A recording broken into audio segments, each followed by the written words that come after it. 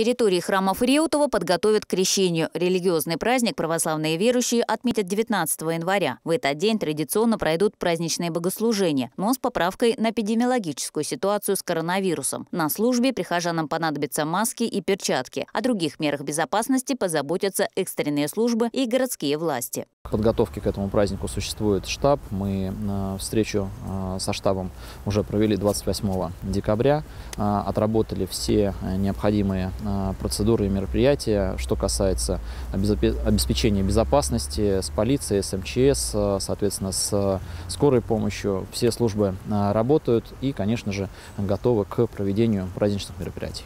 Глава муниципалитета проинспектировал территории Казанского и Троицкого храмов Реутова. Объектами особого внимания стали пешеходные дорожки и подъезды к церквям, парковки и общественные пространства по соседству с религиозными сооружениями. Их очистят от снега, чтобы в праздник крещения прихожане имели свободный доступ к храмам.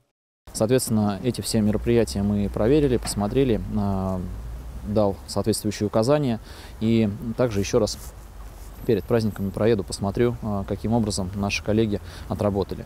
В Крещенский сочельник 18 января верующие традиционно окунаются в проруби в открытых водоемах. Однако в Реутове разрешенных мест для купания не будет. По заключению Роспотребнадзора качество воды не соответствует нормам. Поэтому на крещение на фабричном пруду будет дежурить охрана, чтобы предупредить чрезвычайные ситуации. Ближайшие крещенские купели находятся на реке Пехорка и озере Дивном в Балашихе, а также на Терлецких прудах в Восточном округе Москвы. Выбирается специальное место, оно проводится обследование сотрудниками вместе с водолазами, но должно быть чисто, не должно быть никаких предметов, которые могли бы помешать непосредственно э, спуститься а, в воду. Должны стоять шатры, должны стоять, купель должна быть оборудована поручнями, чтобы можно было удобно спуститься и удобно подняться из этой купели. Ну и сотрудники, конечно, присутствуют экстренных служб, это скорая помощь, сотрудники МЧС и водолазы. Спасатели советуют риутовчанам не выходить на тонкий лед, а людям с хроническими заболеваниями и вовсе воздержаться от зимних купаний. Фаля Шарыпова, Алексей Золотарев, ТВ Реутов.